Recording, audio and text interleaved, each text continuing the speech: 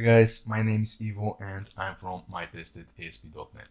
As you may already know, in my current video series I'm talking about Entity Framework performance.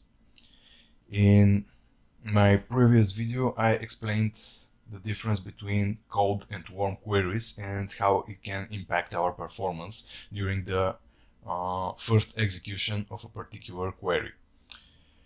And now I'm going to show you how to uh, solve that problem in a way and even you can do it when a query is a little bit of a little bit slower than you might expect or you might want. So I'm going to explain the compiled queries in this video and we're going to see four examples and what exactly a compiled query is. When I run a normal query like this one, this is be, this this will be the query I'm going to precompile and reuse. When I'm using a normal entity framework query like this one, where I'm calling the database dot some table and I am doing some filtering, I'm selecting, it doesn't matter actually. Um, entity framework first has to analyze the query. Then it needs to compile it. So it needs to extract the birthday the color the owner the cats. It needs to generate a SQL from that compilation. And then it needs to execute it over the database. Entity framework is smart and as we saw in my previous video. If you haven't watched it, I suggest you watch it. Uh, as we saw in my previous video, when Entity Framework executes a query for the first time, Entity Framework analyzes the expression trees, analyzes the query parts, and caches them. So the second time Entity Framework sees the query, Entity Framework analyzes the expression tree again but this time it doesn't build the SQL query from it. So essentially, uh, Entity Framework analyzes every time the expression trees, but only the first time it compiles them. So if we if we run to see how this plays, we can see that the first time when the query is called we get two seconds which is quite a lot to execute the following query.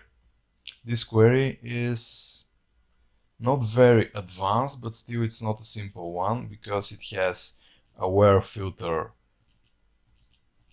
on a uh, in a join and it has to count with a strange filter over a text column. So it's not the most difficult query, but it's not a simple one.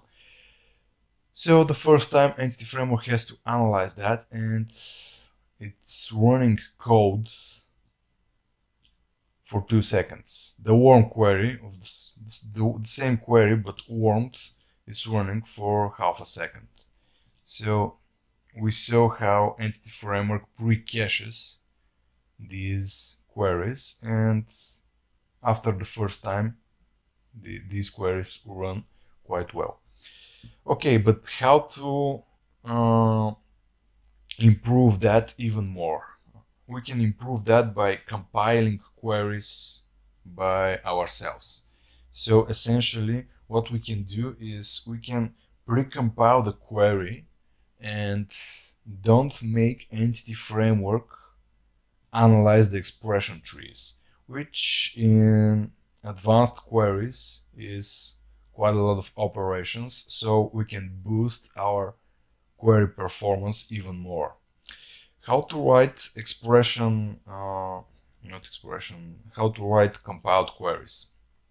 The, sim the simplest way is to, to create a new class which contains all compiled queries or you can separate your compiled queries in different classes for example cat queries owner queries and so on it's a good idea to store the compiled query in a static variable because uh, because once the compiled query is compiled, the static variable will hold the compiled information for you and it will no longer need, need to be compiled again. So essentially new class a static property we uh, we won't be worried about uh, uh, deadlocks or race conditions with the static property because essentially we're going to provide the DB context each time we want to execute the query. So essentially that's a normal function and it's a pure function so it doesn't matter whether it's static or not for race condition scenarios. So how to create a compiled query, new class, static property, and the syntax is a little bit ugly. We need to create a func of our DB context, all the parameters we're going to use in our query, and to return enumerable cat family results or just cat family results. So essentially I'm returning from the query here either enumerable or, or either the class I'm going to extract from the database, so to say. What are these parameters? If we go back to the original query, in this method I have two parameters, age and name start, and I use it, use them uh, throughout my query, for example here and here, and the name start here. So essentially, if your query does not have any parameters, you may skip these. Okay, it's important to say that you need to return either enumerable or either a class. Otherwise, it, this uh, compile query will throw exception. Then what we need to do, we need to call ef, which is a class from Entity Framework Core, dot compile query. Entity Framework 6 has uh, a similar way to create compiled queries, but the names are different. You can search it on Google if you need it. So we run entity framework.compile query. This method has an async version too, if you need it, and then you need to return a task enumerable, but uh, async enumerable, but that's um, that's a minor detail. And in the compile query, we need to provide a function which provides the query. Essentially, the function needs to have uh, the DB context and the parameters here. And the query is just copy pasted. So if I want to create a compiled query, I will create a static func which has the DB context, the types of the parameters, and a enumerable of the result I'm going to get from the database. Then I'm going to call entity-framework.compile query and I'm going to start another function which gets the DB context the, and the two parameters. And in this one I can just copy paste my query and remove the to list. Removing the to list is actually important. I will show why in a minute. And here it is. The syntax is a little bit uh, difficult to get at first, but trust me, it's worth it. Okay, and let's use that query now. I'm going to test the uh, performance with the normal stopwatch, but as you may already know, it's not the best way. You can use benchmark.net for fine-tuned performance measurement. So what I'm going to run, I'm going to run the normal query here one time code. Then afterwards another time when it's warm because Entity Framework will, will cache it, but still Entity Framework will need to analyze the the expression trees every time. So that's a little bit of overhead. Then I'm going to use the compiled query which allows entity framework not to which allows entity framework not to analyze the expression trees. It makes a huge difference actually. Mm-hmm. And finally I'm going to run the same query compiled query but this time warm and we can see that we have quite a lot of performance improvement. First, the cold query needs one second. The warm query needs one third of a second. And the compiled queries um, even 10 times faster than the warmed one. The compiled cold query still it, it needs a little bit of time to be compiled but since we're using a static property, that static property saves the compilation and afterwards it's warm every time. So essentially between the cold query and the compiled warm query we have a huge improvement. That's like more than 100 times improvement. So again, how to use compiled queries. You just need to create a static property in a class. You may separate the queries in classes.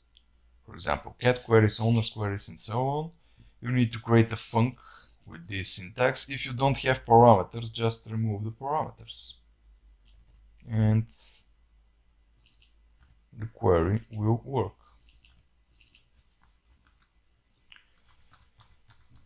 You need to return an enumerable of cat family result. If you return something else, it should not work. It's a little bit it's a the compile query method it's how to say it it's picky it doesn't recognize the list statement so you need to skip it and if you if you are not using to list you cannot return a list here. You need to return an enumerable the other way you can do the same query is if you need to return only one result then you will need to call first or default. Or last or default whatever works for you but since this is not the same query, I'm going to return it, but I just wanted to point in which situations the compiled query works correctly. With either first or default, where you return a single result, or with an enumerable. Otherwise, it will not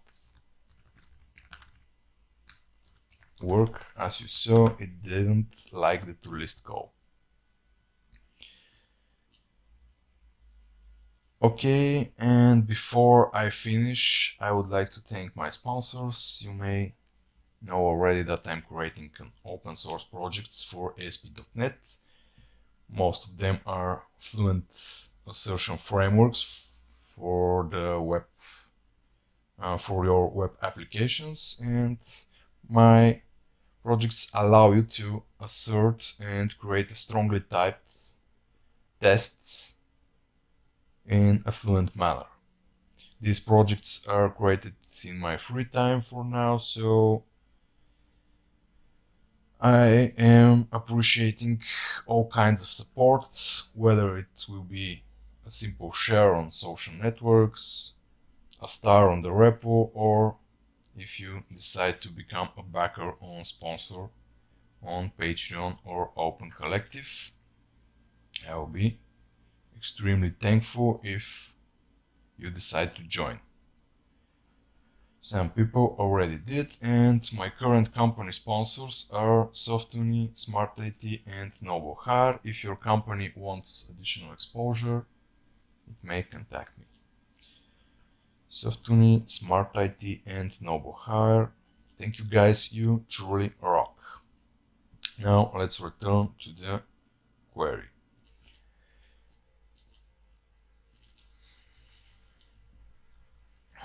So the positive side of these queries is that you have quite an improvement in terms of performance. The negative sides are that you need to write a little bit of more uglier code in order to use these uh, compiled queries and the other problem is that you don't have